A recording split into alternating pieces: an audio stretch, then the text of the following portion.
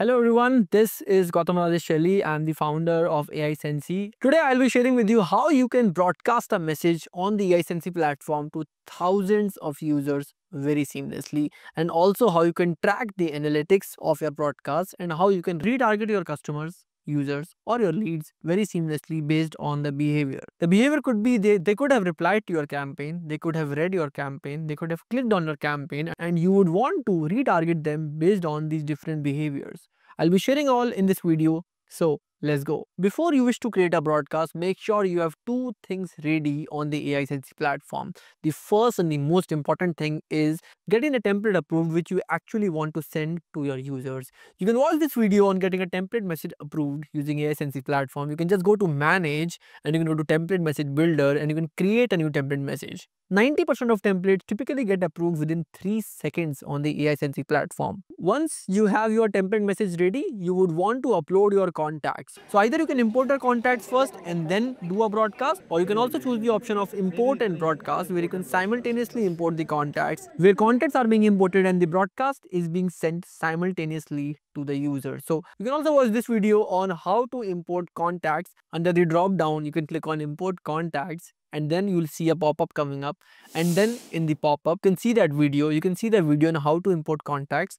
Also you can download the sample file modify the sample file and re-upload the contacts. Once you upload the contacts you'll be asked to map the right columns to the right attributes. Once you complete that process all your contacts will be imported in the Sensei dashboard. Now you can actually broadcast your message to these contacts in two ways via the Sensei platform. One is from the contacts tab where you can just filter the contacts choose them and start a broadcast and second is from the campaigns tab where you can create a new campaign and furthermore again choose your contacts and broadcast them. Both the processes are exactly the same. The UI is slightly different and I'll be sharing with you today how you can broadcast to your users from the contacts page. So once you go to the contacts page, you can go to filter. So since I want to broadcast my template to a small set of users, I will first segregate this small set of users using tags and attributes. So you can click on filter, can choose a tag. Let's suppose I choose a tag called KYC 17 Jan and I'll get all those users who have been marked with this particular tag. So let's suppose I want to send this message to all those users who are marked with this tag and also they are marked with some kind of attributes. Let's suppose they are marked with a status attribute. So I can choose the status attribute and then furthermore I can say okay completed. So if the status is completed and the tag is KYC 17 Jan, I can actually segregate this audience and broadcast a message specifically to this audience. Also, I can choose between and and or. Uh, and basically means that uh, both of these conditions have to be true and or basically means either of these conditions have to be true. So if I mark an and, you'll see the audience size shrinks to almost 150 odd people.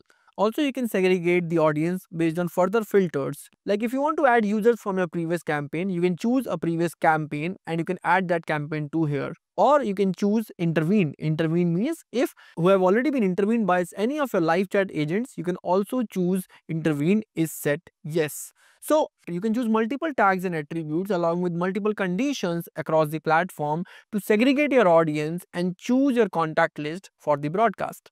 Once you get the right set of audience, like for now, I have the right set of audience with the tag KYC 17 Jan and status is completed. I have 150 people in my audience. I can choose all of these people and click on broadcast. Once I click on broadcast, a pop-up opens up and I can choose a campaign name. Make sure your campaign name is unique and you don't overlap or create the campaign with the same campaign name that you have previously created. You can create a new campaign saying new campaign KYC completed campaign. Once I put up my campaign name, I can also choose a message that I've already got approved for now. Let's suppose I say I have a KYC verification broadcast. So I can choose a pre-approved template like the, for now I have a KYC verification broadcast and I can choose from the media library the kind of image I would like to post on this broadcast. Since this template is an image based template, I will have to choose the image on the fly while I am broadcasting this template. Initially when this template was getting submitted, either it is a case of a video or an image, we are not taking any kind of sample image or video from you. But once you're broadcasting the message, you'll have to submit the image or the video that you're willing to broadcast to all your users as a part of that campaign. Furthermore, I can also choose a certain time if I want to schedule this campaign later on sometime. Next feature here is retry campaigns. I think this is one of the most important features if you are broadcasting a marketing message. Let's understand a concept called frequency capping before we get into this. Frequency capping is a delivery limitation introduced by Meta so that a user is not getting spammed by multiple businesses at the same time or the same day. Meta introduced something called frequency capping, which says that you will not be able to send messages to 100% users. The delivery now is not 100%. Messages will be mostly delivered to those people who are more likely to respond to your message or who have actually previously opened your messages on WhatsApp. So now usually a broadcast gets 50 to 70% of delivery rates once they are broadcasting a message due to a feature by Meta called frequency capping. AiSensy has introduced a feature called failed retries. So if let's suppose your delivery is 50% or 60%, 40% of your campaigns, 40% of your broadcasts will be failing. 40% of your messages will not be delivering to the users. What we noticed was that if you try to rebroadcast to these users after a certain period, a lot of campaigns, a lot of messages will actually go through. And hence we launched something called retry campaigns. So you can set up up to three automated retries, which means let's suppose you sent a broadcast to 100 people and it only reached 60 people in the first go. Let's suppose you set up three retries. Let's suppose first one was after 2 hours, next one was after 12 hours, and the third one was after 24 hours. Now, in the first retry, we'll be starting a broadcast to these remaining 40 people whom the message failed in the first attempt. Let's suppose out of 40 people, again 20 messages were delivered and 20 failed. Again, after 12 hours, we'll be sending a message to these 20 users whom the message failed in the first retry. And let's suppose again the message is delivered to only 5 people. Out of the remaining 15 people, we'll be sending a message to these 15 people in the third retry. Now you can actually set up these three retries based on your campaign, based on the size of your campaign. Usually it also depends on the urgency of your campaign. If your campaign is actually urgent, your time duration should be small. But if you have time to broadcast a campaign, you can keep longer duration so that your delivery is high. Longer duration could be something like an 8 hours or 12 hours or 24 hours. And if you have automated retry setup for like 12 hours, 24 hours, 36 hours, it is more likely to get higher delivery rates due to enable retries functionality. Sure, so we'll set up some retries. First retry I'll be setting up at let's suppose 6 hours and then I'll add another retry. So now the retry 1 says that retry 1 will happen 6 hours after the campaign completion of the first of the broadcast. The first retry will actually happen after 6 hours of the campaign completion of the broadcast. Let's suppose I'm broadcasting this campaign now after 6 hours. So it's a 150 people campaign which will get delivered in like 5 minutes odd. Our delivery speed usually is 1200 messages per minute. You can also increase this speed to 60,000 messages per minute very easily by talking to our team. If you have a larger volume of say 10 lakh messages or 50 lakh messages, we can talk to Meta and get your messaging speed increased very seamlessly. But in general, everyone on the platform has a delivery speed of 1200 messages per minute. And that's also a very fantastic speed, which means a campaign of 150 people should just get delivered within a minute in hardly a few seconds. Once this campaign is completed, after 6 hours, we'll initiate an automated retry campaign to all the users this campaign was failed. So now the, my first campaign will go 6 hours after the campaign completion. My next campaign will go after 12 hours of the previous retry. That means from the initial broadcast, it will be 18 hours. From the first retry, it will be 12 hours. And then another retry will be going after 24 hours after the second retry. Means after one day of the latest retry, total after 42 hours of the initial retry that I'm sending right now. I can also test this campaign to myself and by putting my number and name here. And now once I get this message, I can actually click on send now and also broadcast this campaign to all my users very seamlessly. Once I broadcasted this campaign, I can click on go to campaign and I can actually view the stats of this campaign and I can also retarget users on their behavior. Come, let me take you to the stats of this campaign and also show you how you can retarget on the basis of different parameters. Let's suppose I have to set up a campaign which has dynamic parameter setup where let's suppose you want to send a particular parameter. You have to send a certain value which is pertinent to a certain user in the message. Let's suppose I want to send a personalized message, right? Where I say, hey, hi Gautam, this message is specially for you. Hey, hi Gautam, your purchase was successful. Now the term Gautam is variable to the user and it could also be pertinent and it could also state some value like your purchase was successful for this much amount or your purchase was successful for this product of this much amount. So now there could be two or three values which are dependent on the user type and these values differ from user to user. These values can be saved in the attributes and you can use these attributes in the template very seamlessly using AiSensy platform. These could be static values where you can just say, okay, hey, hi, your, your shirt was ordered and the shirt, you can just type out shirt here in the parameter section or I can actually also choose from the attributes very seamlessly. Like in the name, I can choose the first name, last name. Also, I can choose from different parameters values by which is mentioned by dollar status, dollar name, dollar first name, dollar last name, and all of these values, dollar color. Once you click on this button, you will be shown all the attributes that you created on the AiSensy platform and you can choose the exact attribute value that you wish to show here for the user. Like suppose I want to go with the name. Now if in case this value is not present for the user, you can also put up a fallback value which could be a static value most probably that handles the conversation really well. So now let's suppose if someone has not entered their name, it is a very rare case but let's suppose it's there. I can just put hey there. I can just put hey there and I can press on enter to go ahead with this campaign. Furthermore, I can choose an image and once I choose the image, I can actually move on to the next steps to broadcast my message. Also, I have chosen exclude opted out data.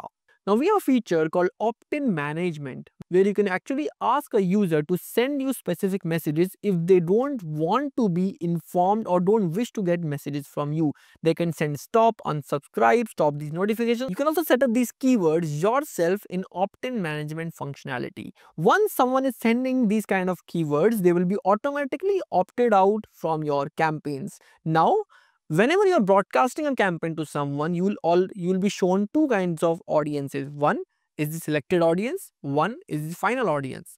Your final audience is selected audience minus the opted out audience. And hence it is pre-chosen to exclude all the opted out audience since they have already opted out of receiving communications. But still if you feel that okay this message should go to everyone regardless they have opted in or opted out you can turn off this and send the message to everyone regardless they have opted in or opted out. But in general you should keep it on as it is already on so that you can just exclude those people who are not willing to receive communications from you further we'll move on to testing the campaign. Once you've broadcasted a campaign, you can check out campaign analytics by going to the campaign directly by the option that you get or you can click on the campaign and you can choose the particular campaign that you have broadcast. It is mostly the latest campaign that is visible on the campaigns page. Once you click on this campaign, you can actually see multiple options like sent, delivered, read, clicked, replied and failed. Also in the overview section in scheduled retries, you can see the timings that the retry is already being scheduled. Furthermore, in the delivered section, you can actually see who all the message has been delivered to. And also you can choose if someone has read or not read the particular campaign. So let's suppose you want to retarget a message to all those people whom the message was delivered but have still not read the message.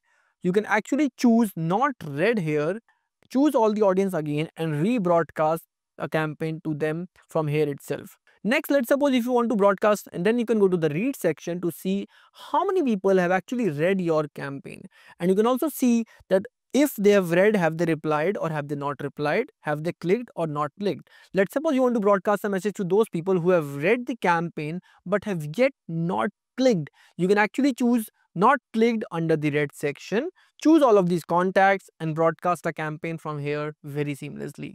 Next, you can go to the clicked section to understand who have clicked the campaign, how many people there, how many times they have clicked the campaign and also which CTA button they have actually clicked. If I wish to target specifically to those people who have clicked a particular button, I can choose the particular CTA and I can broadcast them specifically. Also, I can retarget the users on the basis of how quickly they have actually clicked on my campaign. Have they clicked the campaign within one hour? Have they clicked the campaign within three hours? Or have they clicked the campaign within 24 hours? And also I can retarget them on the basis of that. Furthermore, I can also see how many people have replied to this campaign if this message contains a quick reply button. Also, I can see which button they have actually replied on, which quick reply button they have actually chosen and I can retarget them on the basis of that particular option.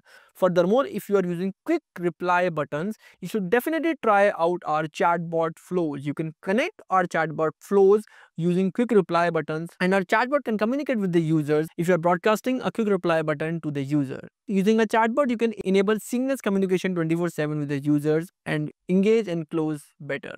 Furthermore, we have failed section. In the failed section, you can actually see why the campaign was failing. If you go down, you'll see the failure regions. Also, you'll have to wait since there is frequency capping. Mostly something went wrong. If there is something went wrong written, there technically means that it is due to frequency capping. These campaigns are failing. And rest assured, you, you have already set up failed retry campaign. So you should wait till all your failed retry campaign completes and then post that all the audience that is remaining in your failed audience, you can rebroadcast or retry one more message to them to see whether your campaign is going or not. One basic tip is utility messages have a very high open rate and also has a 100% delivery rate. So you should technically try to send more and more utility and authentication messages and then send marketing messages to get actually high open rates and high delivery rates also because once someone is watching that utility message, you have a better ratio of delivering a marketing message. Also, create more chatbots, create more engaging conversations so that you can get higher delivery rates on your marketing messages. Thanks a lot everyone. I hope this video helped you to understand how you can broadcast a template, how you can retarget a template to different users based on different behaviors and also how you can view the analytics in the AiSensy dashboard. Thanks a lot.